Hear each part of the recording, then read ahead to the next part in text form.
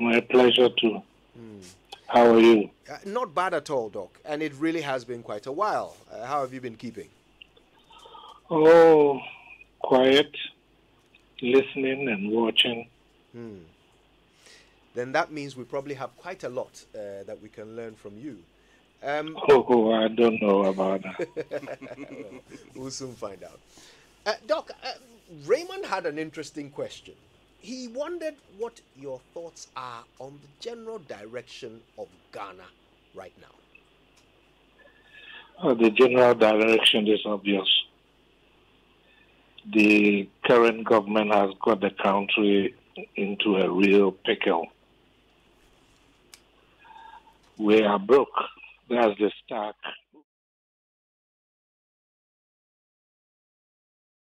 man has been in self denial for a very long time.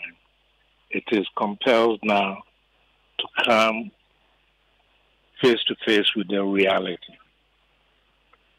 You have overborrowed. You cannot pay your debts. You cannot provide basic amenities. And your currency is in dire straits. You have inflation looming. The cost of fuel and other items are skyrocketing. And the prospects are not very, very good. Because when you look at the measures so far being put on the ground, those measures are not realistic at all. Hmm. The Bank of Ghana, three days ago, announced the increase in the policy rate by 250 percent, percentage point. This is a typical capitalist solution to a peripheral capitalist problem. In Ghana, the money in circulation is not credit money. It is hard cash. So, what had hard cash transactions got to do with credit? Policy rates deal with credit. If inflation is deemed as a result of a high level of liquidity, the form of that liquidity is very, very important to identify. And if the form of liquidity is hard cash and not credit, where has interest rate got to do with the use of hard cash in transactions? How do you mop up the excess liquidity in terms of hard cash and not credit? Hmm. So you see, if you want to practice capitalism, you must be very conversant with its principles and dynamics. And that's why countries like Ghana have always remained in the periphery of the global capitalist system. Capitalism is not just a, a, a mode of production of goods and services, it's a total way of life, it's culture social structure are all linked. Mm. So you must understand the system in order to be able to play it. Okay. And so, as a player, you must know that it is organically and systematically structured to exploit the periphery to the benefit of the core and you are not a member of the core. You are a member of the periphery, performing peripheral functions. Your only usefulness to the system is that you have raw materials that the core elements need and must buy cheaply. And you must be the target of consumption of their commodities. Mm. That is the essence of the system. There is no conspiracy there cap- core capitalist countries do not conspire to come and exploit peripheral countries. They exploit because the peripheral countries are exploitable. That is the essence, the organic nature of the system. Okay. So, Doc, what, what, would you have preferred? I mean, now that you've talked about, uh, you know, the Bank of Ghana increasing policy rate by 250 basis points, not the way to go. We should have identified the problem as not one of demand, but of supply. A supply side economics will tell you that the current rate of inflation is driven by food inflation. Food inflation implies inadequate supply. Because if there were adequacy of supply, a person who has reached a point of satiation in food consumption will not ask for more. But because there are shortages of supply, effective demand is chasing the limited supply. The Minister of Agric has been denying this, that the so-called planting for food and jobs has been working. If it's been working, why are there shortages, supply shortfalls in grain? Why?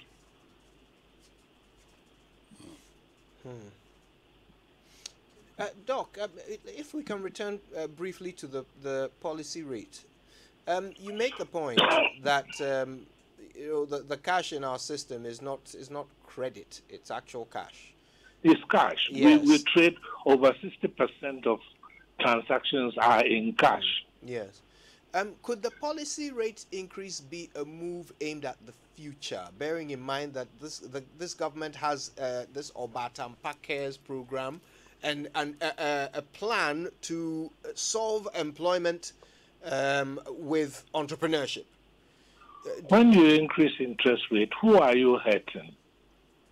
You are hurting the business community, where interest rates will go up and credit will become more expensive. So, who are those who are pumping the money into the system? You have selected or elected the private sector to be your engine of growth, which is a fallacy anyway.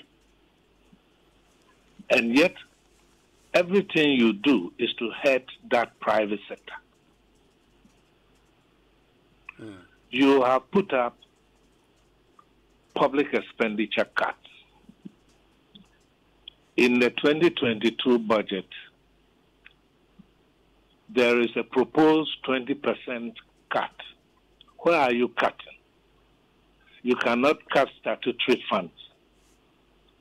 You cannot cut salary. So you have to cut on goods and services. Where are the good the cuts and goods and services going? Don't forget, the government is a most significant single spender of the economy. Sure. And if you are cutting back on goods and services, it means you are hurting private enterprise. Mm-hmm. When you say it's a fallacy that uh, when we say uh, the private sector is the engine of growth, why is that a fallacy? It's a fallacy because the historical fact is that the average private entrepreneur in a typical third world country is not a creator of wealth or public wealth. Is a consumer of public wealth and an accumulator of private wealth. Private enterprise in our parts of the world do not innovate. They do not do research. They do not add value what they do is that through patronage, political patronage in particular, they set up the businesses, accumulate, and use that money for themselves rather than for the public good. The government in a developing country has business to do business. simply because there are so many virgin areas in the developing economy that private capital don't want to go. And so it is the duty of the government to go into those areas. If you think that state owned enterprises has, have historically shown to be waste, employ the very techniques of the private sector by contracting management on the basis of pay by results. Hmm. You make profit, you get paid. You don't make profit, you are not on a permanent stipend. Okay. That is how private capital works. If you don't know how to operate in the capitalist world, don't try it. Now, this business of government having a business to do business, how well have we performed as a country without We have government? not tried it at all. Kwame Nkrumah was the only person who tried it, and he was successful. He created the Builders Brigade and the state farms. At least the state farms were not making profit at all, you had hordes of workers who could rely on the farms for their own welfare. We wouldn't have had the high levels of unemployment that we are seeing. The teeming urban halls of unemployable, unemployed, and unemployed youth, and the ramifications of this unemployed youth. Now, um, Doc, is this not a bit of deja vu?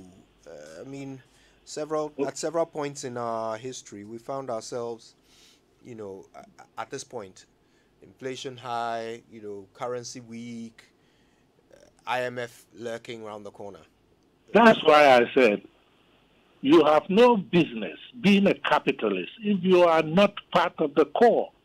If my country was a core member of the capitalist world, hooray, I would always urge for capitalism. The dynamics of the system are so that you will remain a peripheral country performing peripheral functions. That is how it is. It is the organic nature of the system to exploit the periphery. So, so really, what you're recommending is that the NPP government ought to be more socialist. Not all only NPP government. All our historically successive governments have not been bold enough. They've been blind to this need, imperative need for us to delink from the global system of capitalism. We need an increased South-South relationships.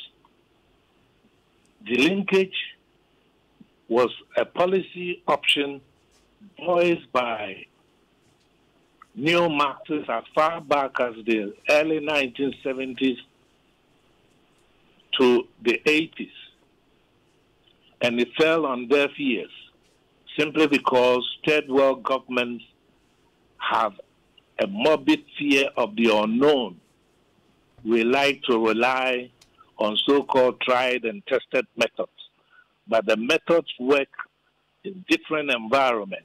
They may not work in your environment. How has China been able to relink with the global system of capitalism from a position of strength? Because in its formative years, China was relatively isolated from the influence of the global system of capitalism. And during that period, China experienced the highest growth, accumulated public capital, and from public capital has relaunched itself into the global system of capitalism from a position of strength. Look, those individual Chinese galamseyers you see in our country. They are controlled. They are controlled by their central governments. They are not just private entrepreneurs. State led capitalism is what China is now practicing because it is in a position of strength. Doc, I mean, whether capitalist or socialist, one thing that is constant is that governments must raise revenue. Our government is proposing an e levy to that end. Your thoughts? Yeah. Seriously, it's not only revenue side that must be tackled, but also expenditure side. Let us look at the e-levy. The objections are both moral and pragmatic. That you may chase away the participants in the electronic levy, uh, electronic transaction system, and thereby reduce the volume of transactions. And if you do, the revenue expected might not be achieved. Then there is the morality of it, the so called stealing from my wallet. If you can target a particular section of the populace participating in the electronic transaction area who previously were not part of the tax paying entity, that's okay because then you are widening the tax net, which is something that we need.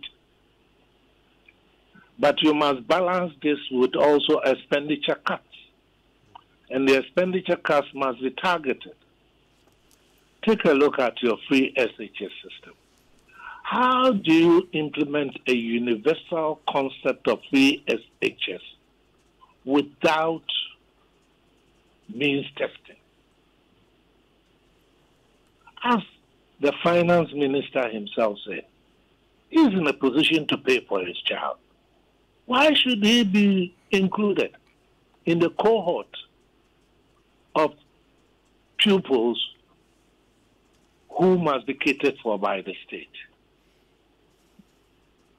If the whole policy is aimed at bringing underprivileged children under the care of the state, then you must means test rather than a wholesale implementation of a policy. Because the effect is not the creation of equality, but the widening of the inequality gap. The affluent parent keeps his money and rely on the state to cater for his child. Poverty is not only an absolute phenomenon, it is a relative phenomenon as well. The more I try to catch up, the further you go away from me. That is the relativity of poverty and inequality. well, um, if you just joined us, our guest is Dr. Tony Aidoo. He joins us on the Patriotism series, and we're talking a lot about the current state of Ghana, the direction of it. Uh, we've been touching on the economy, and uh, Dr. Aidoo makes the point that it's not only about revenue, it's also about managing expenditure. Um, Dr. Aidoo, uh, uh, government has come under some criticism for its expenditure. Uh, the president has responded recently by announcing that there will be some pay cuts for appointees. A step in the right direction? Tinker Tailor Soldier Spy. There was a, a British series like that. Yes, by John Tinkering. Yeah. Tinkering. For five years, you have operated a bloated executive, 125 ministers of state over a thousand presidential staffers. Even if they are not receiving salaries, they are receiving largesse in cars, housing, and so on and so forth. This is where your expenditure is going. It's not going into productive enterprise. You've mounted so called programs which are Cinderella projects, seriously. Why do you call them Cinderella projects? one village, one down, dugout, which does not contain water when, when, when, when they are needed. Waste of money. Show me one dam in the north that is functional especially at a time when it is needed. Hmm? That's money down the drain. The whole host. You give money to support people who claim to be putting up factories in your one district, one factory project. You don't monitor for the effects of the support that you give to these people? Have they increased employment? Have they expanded production? Cinderella projects that don't show productive effects that you expect. All these, they are part of your expenditure which have contributed to the current hardships of the economy. It's an interesting concept there. Cinderella projects.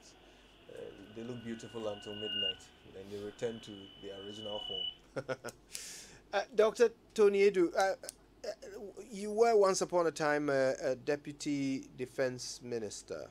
Um, we've kept our borders closed for some time now. Uh, the president says that uh, they are now considering the the parameters under which we will reopen them, our land borders. Yes.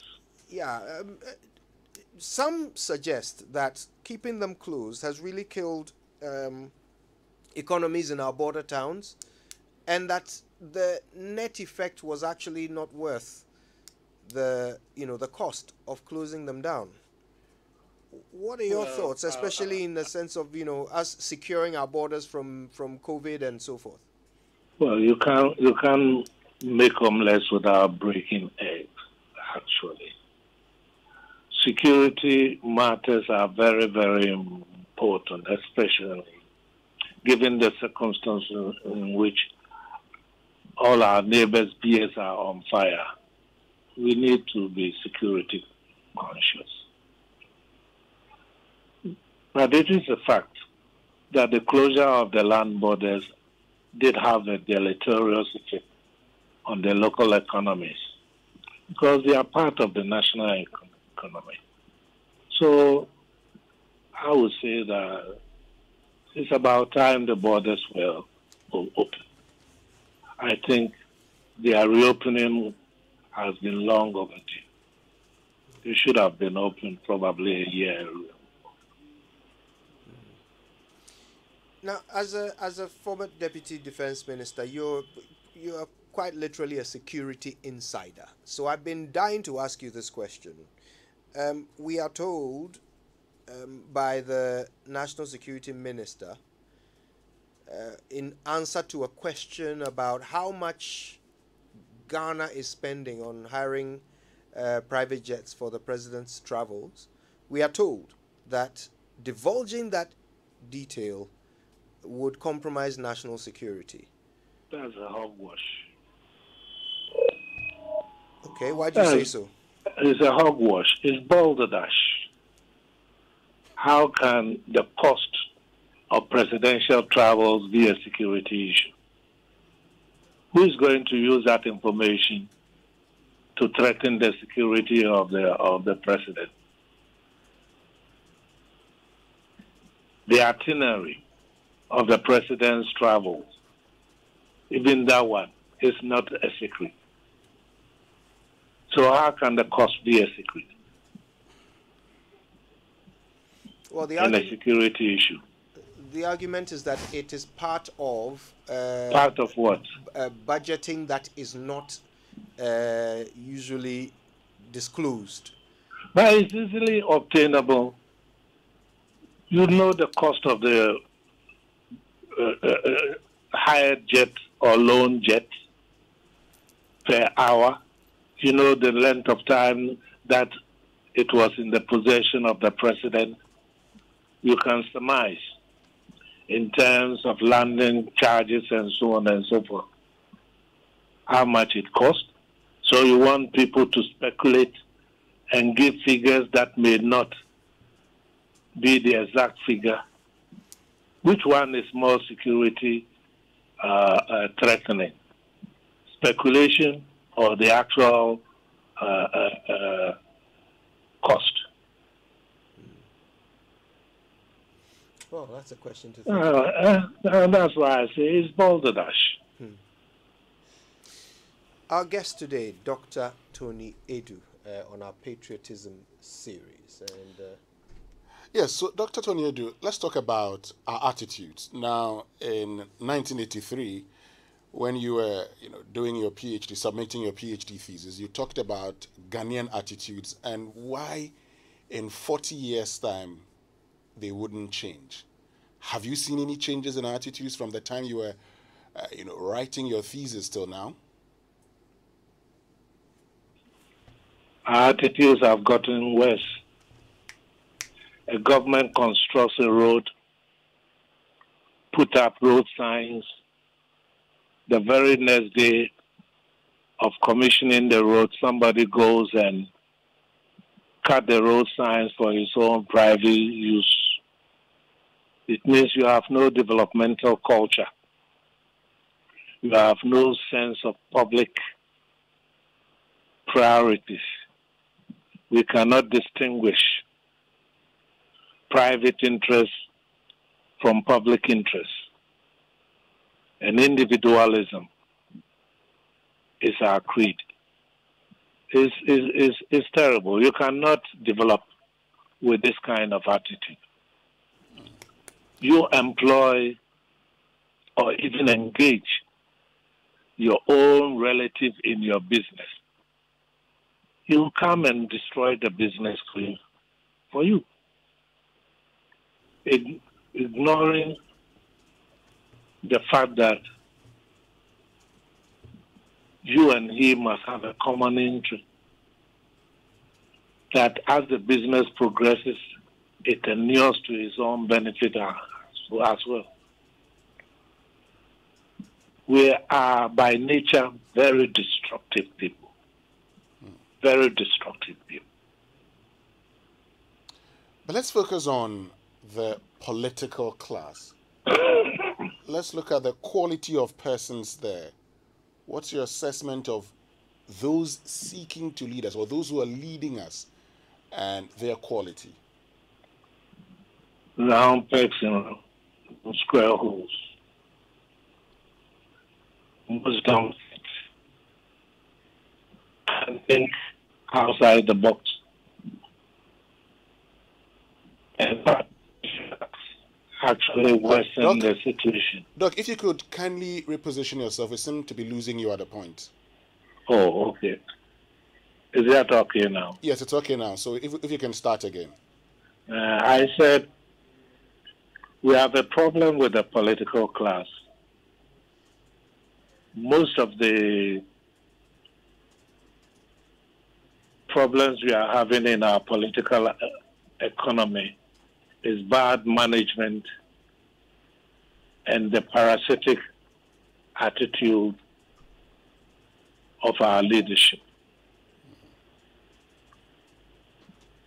Because of partisanship, you find people are given positions that they do not fit in. They don't have the professional attitude nor the intellectual attitude to manage those outfits to the benefit of the public interest. Hmm. Now, and the ultimate consequence is that it creates a bad impression for themselves, the perpetrators, on the part of the mass of the population. Because it sets in motion a sense of relative deprivation on the part of the masses that makes them also rebellious. Lack of confidence in the democratic dispensation because they believe that democracy is only a means to individual wealth. Individual wealth. But Doc, if we are destructive as a people and our leaders seeking their own interests, then we're doomed as a country, aren't we? Of course we are. We are. Unless there's a gestalt switch, we need a radical paradigm shift where we can inculcate in our people a sense of communalism. I don't mean communism. Communalism, the one that existed in our traditional society. In our traditional society, you'll be in your room and your father will come to you and said, we have strangers, so you vacate your room for the stranger. And the stranger may be a perfect stranger which your parents don't know. But because of good neighborliness or a sense of good neighborliness, visitors were welcome. Today, even family members are not welcome. Quite true. Well, uh, we're talking to Dr. Tony Aidoo, Patriotism Month. Now, uh, let's tackle the, the concept of patriotism itself. Um, naturally, the, the, the, the root of any patriotic sentiment is identity. You identify with your nation, you identify with the values of your nation, and then you feel uh, the, the, you feel compelled to sacrifice for Correct. for your nation. Um, do, do we have an identity that is compelling enough? What is that thing about being a Ghanaian that we can still beat our chest about and say, this this is why we're special. This is what makes us proud. This is what we're ready to die for. This is one area where the colonial legacy comes in, and sometimes when you speak of the impact of the colonial legacy on our developmental prospects, people don't seem to understand. We never built a nation. We have never built a nation.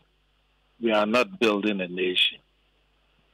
What we had on the eve of independence was a nation that was created for us. And the creation ignored tribal affiliations, geographical boundaries, and so on and so forth. in essence, an individual's first focus of identification is his tribe and his chief, traditional chief. Beyond that, everything is individualism. Hmm. We've never built a nation Nkrumah tried to build a nation. Nkrumah's modernization policy in secondary schools made us aware of each other's culture and each other's cultural nuances. We get used to it and we begin to identify with each other beyond our tribal and ethnic boundaries. Unfortunately, that process of modernization was not powerful enough to remove the remnants of traditionalism, that is, tribal identification, ethnic identification, etc. Professor Claude Ake, a Nigerian political scientist, once said, we must always distinguish between instrumental traditionalism and consummatory traditionalism. Consummatory traditionalism is the one that retards. Instrumental traditionalism always progress a nation. Hmm. Dr. Tony Aidoo is our guest on patriotism, uh, on our patriotism series. When we come back, uh, Dr. Aidoo has, uh, well, he, he has a reputation for calling a spade a spade. It doesn't matter which party he believes is getting it wrong, he does not mind speaking his mind. And so when we come back, we'll ask him a question that uh, perhaps he's uniquely placed to answer. Uh, does he agree with those who think that the current managers of our economy did not do better than the previous ones? when we return. What would you do if you have the choice to do anything in life?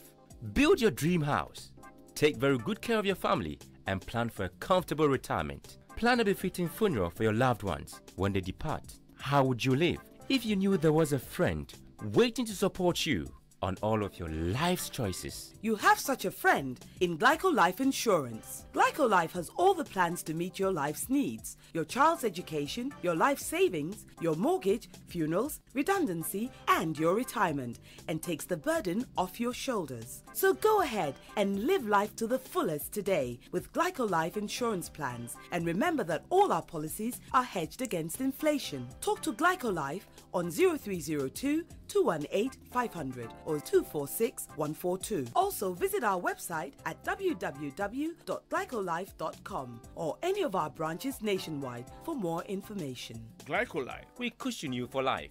GLICO, we cushion you for life.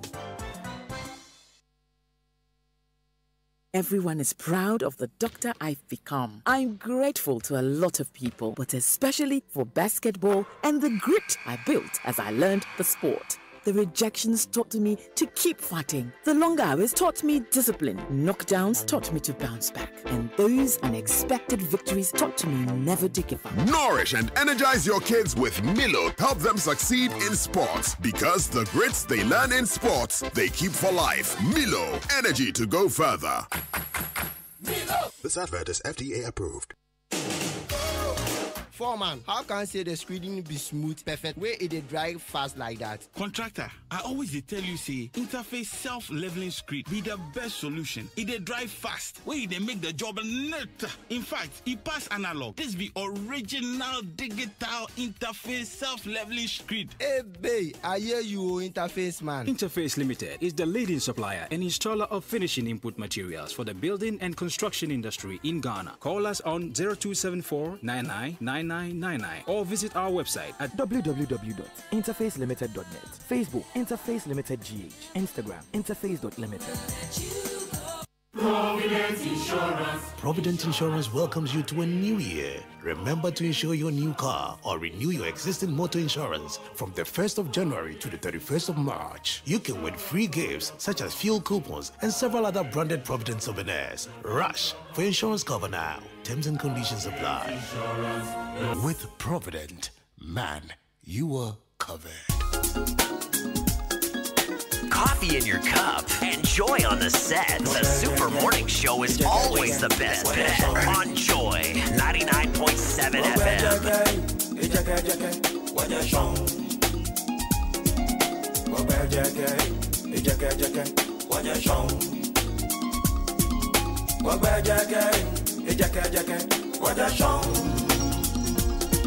Kaja Israel, Kaba Egypt, Kaja Ethiopia, Sudan, Waja Shong. Keja yi kushima yino, wani me kona me waja.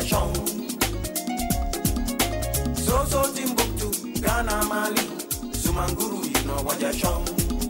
Wabwe jeke, yeke yeke, waja.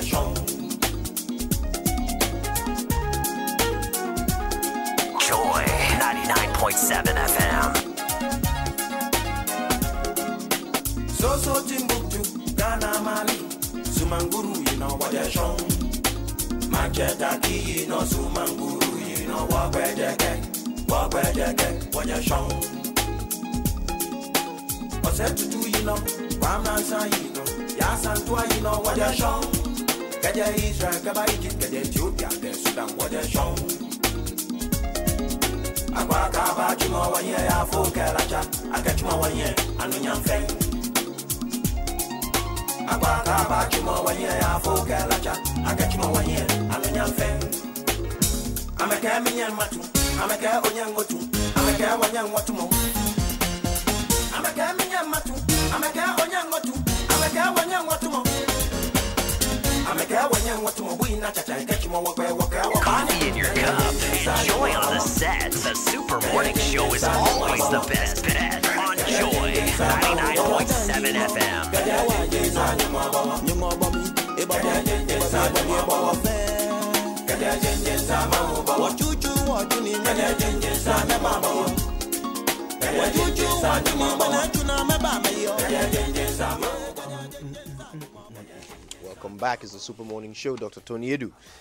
is our guest on our patriotism series. And thanks for all your text messages. Keep them coming through and your tweets as well. Use the hashtag JoySMS. Text messages on the Super Morning Show are brought to you by Glycocritical Illness Plan, GSIP. It's in your best interest to survive.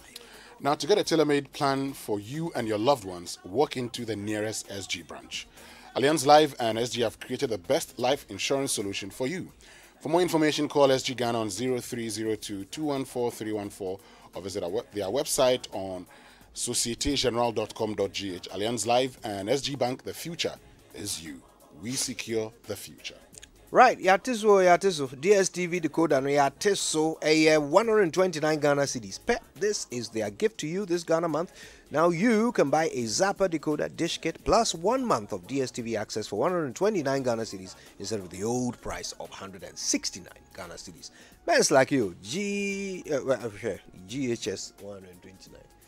129 Ghana cedis gives you the world's best for less with a wide variety of sports, international, and kids shows. This is a limited time offer for this Ghana month. The Offer is valid from the 1st until the 31st of March 2022. Rush now. DSTV, feel every moment. Winston wants to say something. Don't say it. Okay, Adeka was. Yeah. We'll do it first. All right, listen, let's get back to our conversation. Dr. Tony Aidoo is our guest. Now, uh, uh, Dr. Aidoo, uh, the the debate has raged on as always. It's always NPP versus NDC, and whenever we're in a crisis, people start to compare. Yeah. So so what's what's your uh, dispassionate comparison? Who has managed the economy better, John Mahama or uh, Akufo-Addo? At the risk of sounding partisan, let me put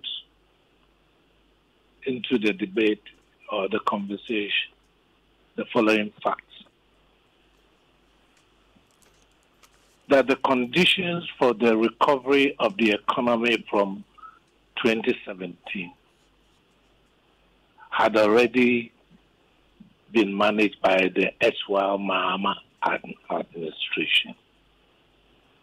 So it is sheer propaganda for Nana Akufo-Addo and Bawumia to claim that we know how to recover the economy. Those conditions had been set by the Mahama administration. However, I have misgivings when the conversation shifts to this comparative management of the economy by the respective administrations. We need to compare apples to apples and oranges to oranges. conditions change. And therefore, when you are making the comparison, you also have to move from the achievements to the underlying conditions within which the achievements were made. I hope you understand that. Hmm. Sure. So far, most of the objects of comparison have been mediocre. A government has the duty to attend to infrastructural development. So you build a hospital, a school, etc. What is the point of making noise about it? That is your objective. That is your duty. That's your responsibility.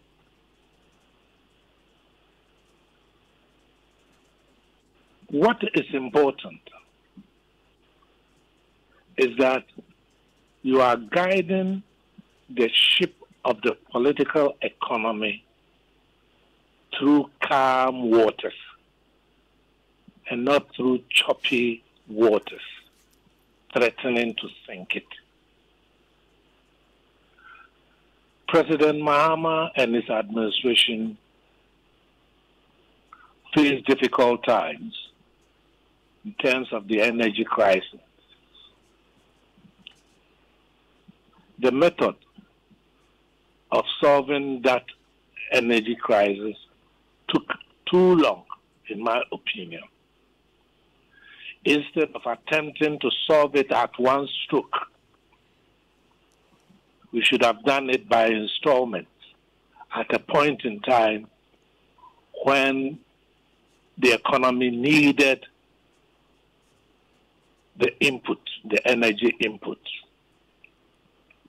So you measure yourself today, how many kilowatts of electricity do, we, do I need? What are my resources for putting those kilowatts into circulation? And you do it, and then you move on to the next. So it took too long for that one stroke resolution to take effect. That's why the benefits were not felt during his time. But the foundations were put there by him.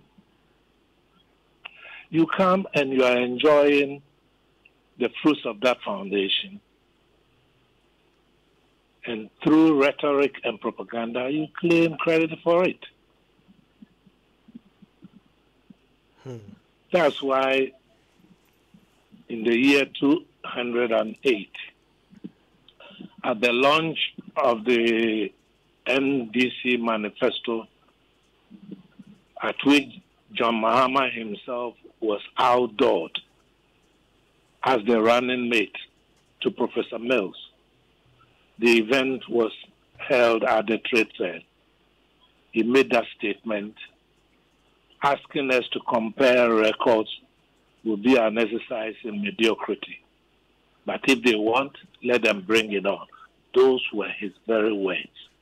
It was not running away from the debate. But the debate is a meaningless debate.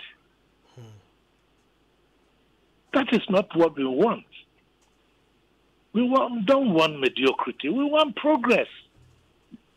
We want to move from point A to point B, not continue marking time on point A. Hmm. The hordes of unemployment and unemployable youth in the urban areas are growing up, are increasing.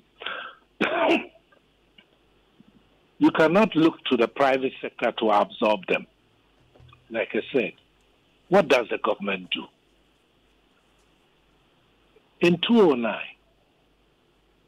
at a cabinet meeting, I proposed the establishment of peri-urban agricultural homesteads. A cabinet retreat was held at Birmingham. Uh, Kofi Annan Center, sorry. It was accepted by Pre- President Mills, and the Ministry of Agriculture was asked to oversee its implementation. The proposal was for a PPP, public private partnership, whereby the government will acquire land on the outskirts of urban areas, go into grain production, animal husbandry, artisanal enterprises like carpentry, etc., using the unemployable youth, especially those who were at Agbogbloshie, who daily on could be seen carrying tubers of yam on their strong arms, the whole day trying to sell a tuber of yam to motorists. The landlord or the local landlord will have equity in terms of the land that is leasing. The government will have equity in terms of the provision of capital and technology for tilling the land. Those who till the land, look after the farm, and will be housed in dormitories on the farm will also have their equity. A three-way split. The Ministry of Agric ignored it. But that is how you create jobs. That is where you move people who are operating in the informal sector into the formal sector and include them in the tax net so that you can tax them as you give them means of gainful employment. This is not an exercise in uh, physics or, for instance, nuclear technology. You see, simple things can be done by the government. Hmm. In as much as economic growth creates employment, employment also generates economic growth. Hmm. The more people are employed or engaged in gainful employment, the greater the potential for the national economy to grow. Hmm. Hmm. Dr. Dr. Tony Aidoo, look, I want to ask you a question about the future of your party, the NDC. Um, it, it's it's uh, it's just it's one of the two big political parties that takes turns to run the country. I've never been very functional in recent time in the party's organization. Mm. But fair my enough. one advice, which I will use this opportunity to voice, is that the party must go back to its ideological identity. Mm. If it says it's socialist, it must embrace socialist principles. Mm. You cannot create a so-called middle class developmentalist through a petty bourgeois that is self-seeking, selfish, and materialist.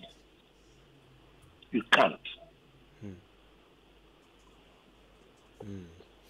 Now, um, it would appear that our next election will be between John Mahama and whoever the NPP puts up um, as flag bearer.